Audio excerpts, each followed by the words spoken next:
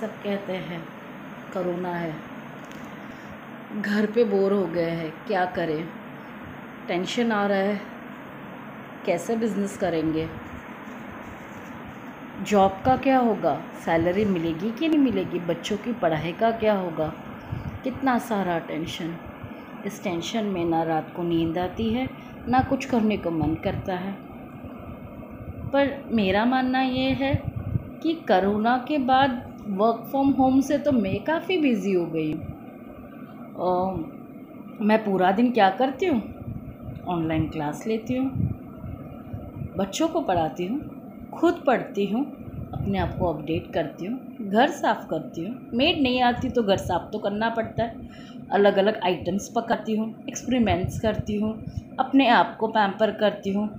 जो चीज़ें मुझे छुट्टियों में करनी थी वेकेशन में करनी थी, वो सारी कर लेती हूँ एक्सरसाइज करती हूँ, थोड़ा टाइम ज़्यादा सो लेती हूँ, अपने फ्रेंड्स से बात कर लेती हूँ बुक्स पढ़ती हूँ और आर्ट वर्क करती हूँ, पुराने बॉक्सेस के साथ रिनोवेशंस किए कुछ कुछ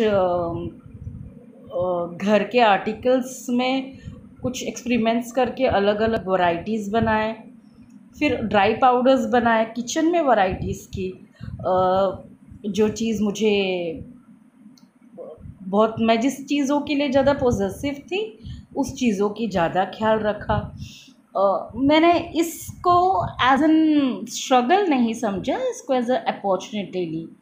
अपॉर्चुनिटी जो सक्सेसर्स होते हैं या जो लोग हमेशा पॉजिटिव सोचते हैं, वो लोग किसी भी आ, मतलब अनसाधारण से कंडीशन में या हम कह सकते हैं जहाँ पे दूसरों को प्रॉब्लम लगती है वो वहाँ पर उसे अपॉर्चुनिटी के रूप से देखते हैं।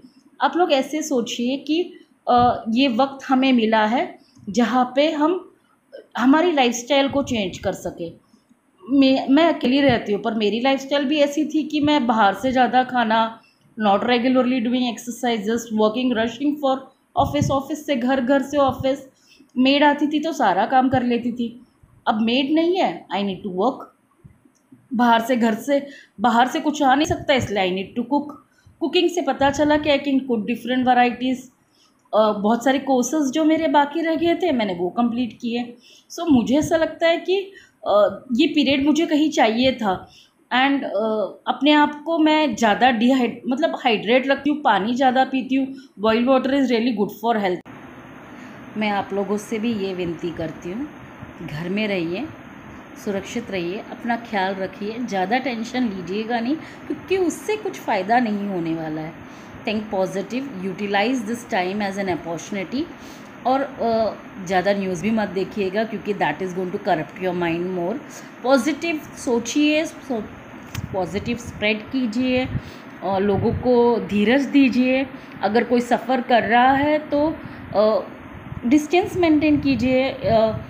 अगर आपको ऐसा लगता है कि किसी में कोरोना वायरस के सिम्टम्स है तो उनसे डिस्टेंस मेंटेन कीजिए। बाहर जाते वक्त मास्क ज़रूर पहनिएगा। एंड विश्वास कीजिएगा, सरकार पे विश्वास कीजिएगा, खुद पे विश्वास कीजिएगा, और ये थोड़ा कठिनाइयों का समय है, ज़रूर निकल जाएगा। मैं आप लोगों से ये वीडियो इसीलिए शेयर कर रही हूँ, क्योंकि मुझे ऐसा लगा कि शायद मेरी लाइफ सुन के आपको कुछ मोटिवेशन लगे, या आपको ऐसा लगे कि शायद पूजा ने अपनी लाइफ चेंज की है तो हम भी कर सकते हैं। तो गेट स्टार्टेड अपनी लाइफ को थोड़ा सा एक्टिव कीजिए और जो चीज़ आप करना चाहते थे वो करिए। तो think positive stay healthy and stay free from corona जय हिंद, जय भारत।